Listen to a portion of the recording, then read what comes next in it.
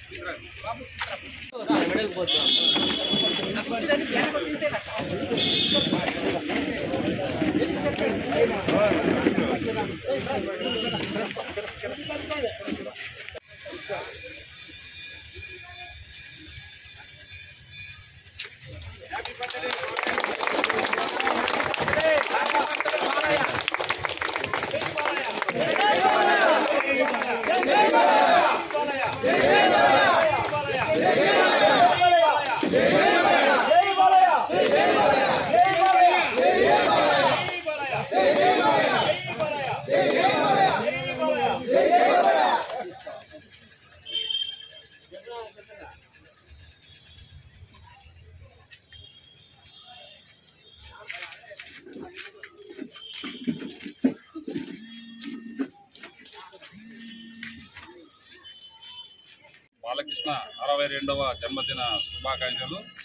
ఇక్కడ ముఖ్యంగా మనం జరుపుకునేది ఏమంటే తెలుగుదేశం పార్టీ తరఫున తెలుగుదేశం పుట్టపర్తి నియోజకవర్గం పార్టీ ఆవిర్భావం నుంచి బాగా కంచుకోటున్న నియోజకవర్గం.